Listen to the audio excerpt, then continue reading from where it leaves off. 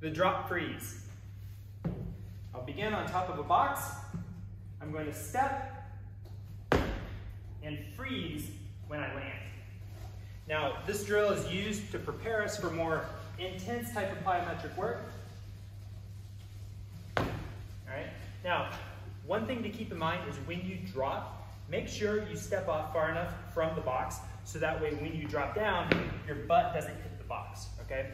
Especially for shorter people, you might be a little caught off guard if you know we don't step too far away, push your hips back and you hit the box.